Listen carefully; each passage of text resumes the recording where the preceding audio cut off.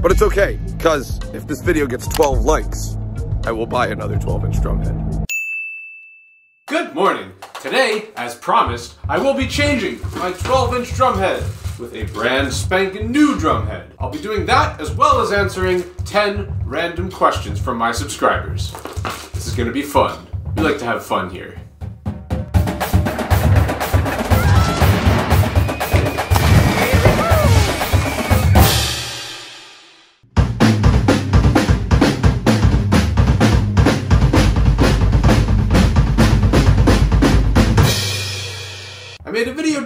On how the Commandant's Own quad line changes our drum heads and what techniques we use. So if you haven't seen that video, make sure you go check it out. And I'm going to be kind of doing the exact same thing in this video, although I just need to change this one head.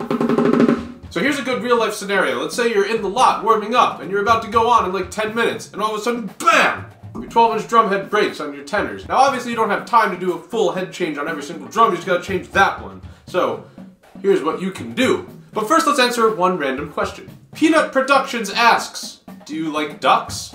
Yes, but I like chickens better. So first thing you're gonna want is a high tension drum key, such as this one. All right, then we're gonna get in here and detune all the lugs in a star-shaped pattern, not all the way, all at once, just like a turn each. And the reason you want to go in a star shape is so that you don't jack up and warp the rim real fast, because if you just detune and uncrank one side, then the rim is going to kind of warp and bend and it won't be good. And if you look super duper closely at these rims, these are actually pearl rims. I think you can read that right there. Yeah, on the drums 1, 2, 3, and 4 of this set of tenors, I replaced the Yamaha rims with pearl rims. And the reason for that is because I don't like Yamaha rims at all. They're really high and obnoxious. You can see I didn't replace the Spock drums. Those rims go up a lot higher than the Pearl rims do. And when you're doing sweeps and insane stuff on the tenors, you know, that little centimeter, that makes a huge difference between either hitting a rim or not hitting a rim. And I don't want to hit rims. So I replaced all of my Yamaha rims with Pearl rims, except for the Spock, because I don't really do that many sweeps off the Spocks. Next question is from Matt Newberger. Why do you say have a good morning at the end of every video? And what should I do if I'm having a bad morning? I always say good morning because it's always a good morning. And if you're having a bad morning, then just listen to me and have a good morning. I hope that answers your question. Okay, let's do another cranky poo on the drums here. Star pattern.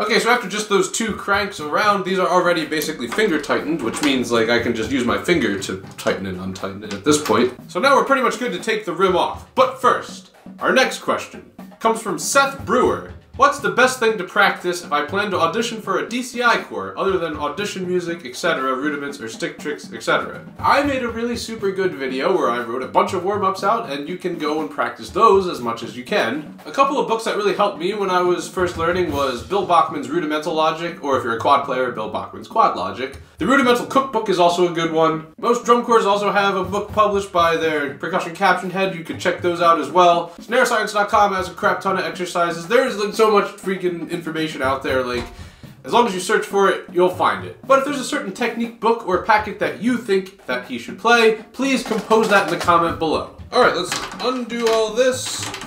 Take this ribbon head off.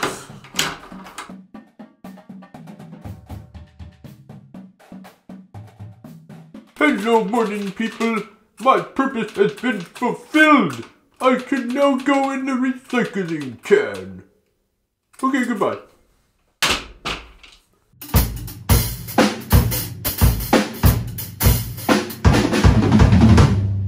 Question is from Eternal Whispers of the Wind. What is the most idiot moment you've had since you joined the Marine Corps? So that would definitely be the very, very first day I got to my unit. So coming out of boot camp and then going into your unit, you're basically like stupid. Like, you learned all this crap, you follow all these orders, and then you gotta suddenly think for yourself, like, what is this? What's going on? So I get there, I was on tour with the Commandant's Own, they were in the middle of their spring training, and they start telling me about all these, like, different, like, clothing policies and what we can and can't wear. So basically, appropriate civilian attire, you need a collared shirt tucked into khaki shorts or pants that have a belt, and you need dress shoes or Sperry's. So I'm about to go walk to the MCX, and I put on my appropriate civvies, and bam, my freaking belt breaks. The one belt I had broken. So I guess I could just wear pants that don't have a belt, and that would be the next best thing until I get a belt. So I put on some sweatpants, I tucked my freaking polo shirt into the sweatpants. And also, in boot camp and MCT, you have to wear these glow belts, like a reflective belt when it's nighttime out. So I put that crap on, because I thought we still had to do that. So I was on my merry way to the MCX, looking like a total chode. Like I was, I was just a bicycle helmet away from being Steven Sassafras VI. And then a very nice guy in my unit saw me and stopped me and told me to not do what I was doing.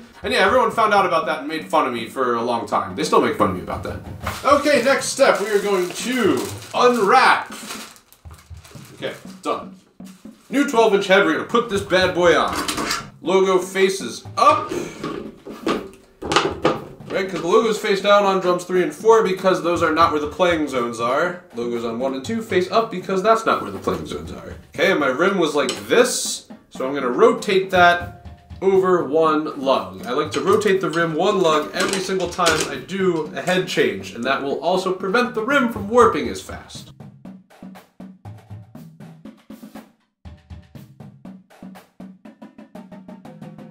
Next question is from Not Meme of the Week. I'm going to be a sophomore drum captain next year. Any tips on how to be respected by upperclassmen while also not being seen as a bossy person? Yes, this can be an issue in your high school drum line. Like, pretty much everyone's going to be your friend and you have to be in charge of them. So honestly, the best thing you can possibly do is make sure you are on top of all the stuff. Like learn all the music before everyone, memorize the drill, have your, you know, your dot book done, have your music learned and memorized, and lead by example, basically. Like do all the right things so that your peers will follow you and do what you do. And you're gonna need to give comments and corrections to your peers, so you gotta find a way to do that in a way that does not come off as bossy and mean. Like, you gotta, you know, be nice about it, be respectful, but also be informative. It can be tough to do that, honestly, so the more you try to do it, the better you'll get at it. You know, you can ask your instructor or your band director for some help if you're struggling to figure it out. Okay, next step, we are going to finger tighten all of the tension rods into the lug casings.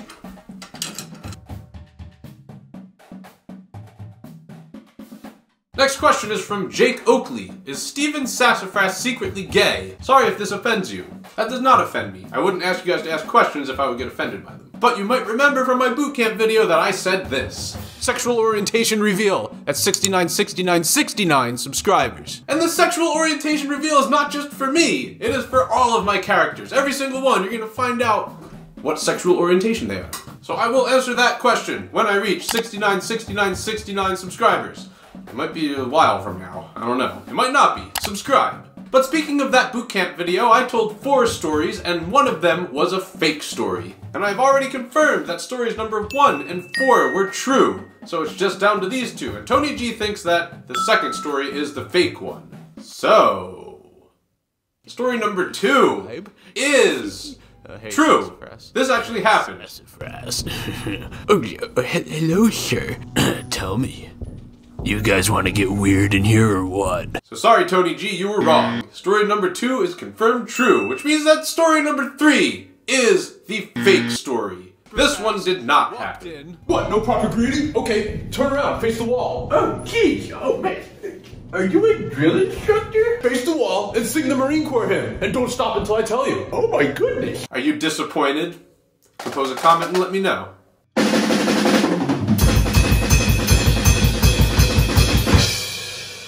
Okay, so we're now going to apply a little bit of tension to the head. So right now the tension rods are just screwed in there. Um, so we're going to get them all the way finger tightened, even though I'm not doing it with my finger because that'll take forever. So I just put the drum key here, just twist it until it stops twisting.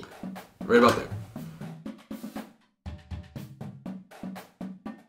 Next question is from McSpy35. What was your inspiration for the creation of the characters? Scotty, Masked Guy, Sergeant Butthole. That is a fantastic question, and I think somebody else asked that the last time I answered questions. So this is actually like kind of a long story for each of them, but the abbreviated version is that some of these characters were made from a prank that I did where I made up a whole high school drum line. Some of them were just made for specific videos, and some of them were just randomly thought of at certain points in time. But one of them is based off of a real person, just one of them. Leave a comment and see if you can guess which one. However, I will reveal the full story of each character when I reach 100,000 subscribers. So make sure that you click that subscribe button. Because before we get to 100,000, we gotta pass 69,420 subscribers, and at that point, I will do the 69er cadence and a Tinder profile reveal. Okay, so now we're gonna actually apply some good pressure to the head, so I'm just gonna take the key and rotate it all the way around one time. Star pattern on each lug. And now I'm going to check the tuning. I'm just gonna I'm gonna put my finger in the center of the head to deaden it a little so I can hear the attack better, and then just go around.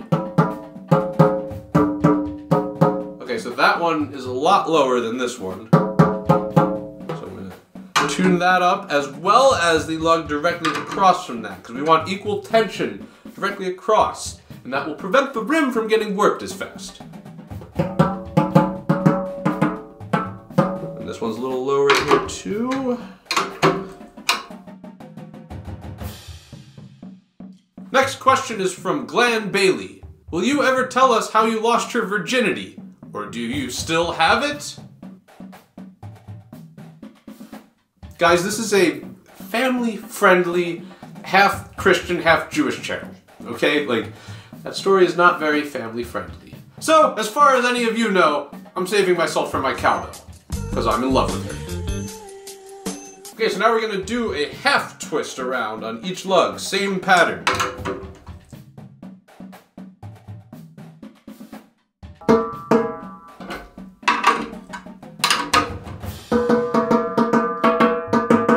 Cool, and honestly, the more you tune drums and do that, the easier you'll be able to hear which lug is lower or higher. It took a while for me to figure out, but since I do it so much, I'm pretty fast at it. Next question is from Liam Hargis. What is your middle name? I'm guessing it starts with an M.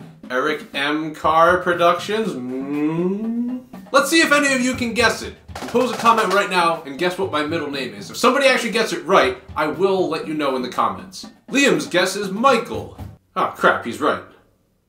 Yeah, that's it. Okay, we're just gonna rinse and repeat this process over and over and over until the drum head is where I want it to be.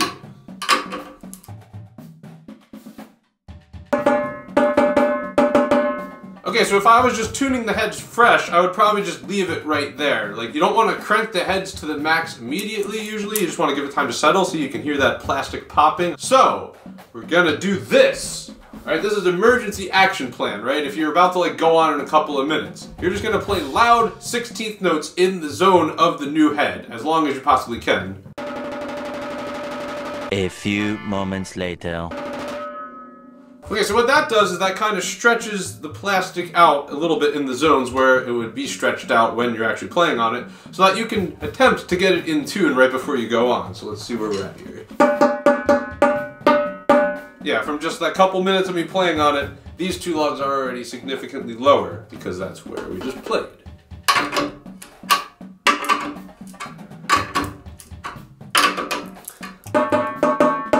We can hear that plastic stretching. Oh man. Alright, that's pretty close. It's good enough. And if you're in a tenor line, like more than one person, then this drum, it might be in tune when you go on to the performance, but as the show goes on, it'll probably get lower and lower. So I would recommend tuning this one a little bit higher than the other sets of drums at the beginning, so that it'll start out of tune on the high end, and then for most of the show, it'll like slowly go in tune, and then probably by the end, it'll be a little bit out below. So if you start with it at the same pitch, it'll be like way, way out below by the end. So that's some stuff to consider in our emergency action plan of tuning. And last question is from Watch My Vids If You're Bored.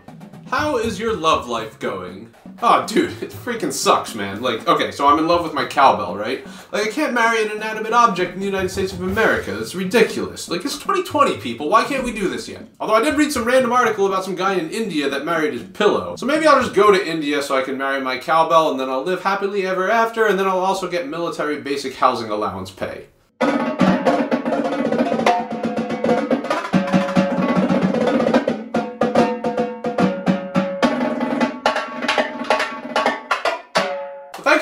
I hope this video was informative and random and weird.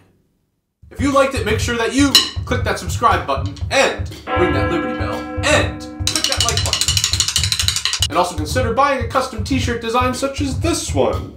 I will leave the link in the description. And have a good morning.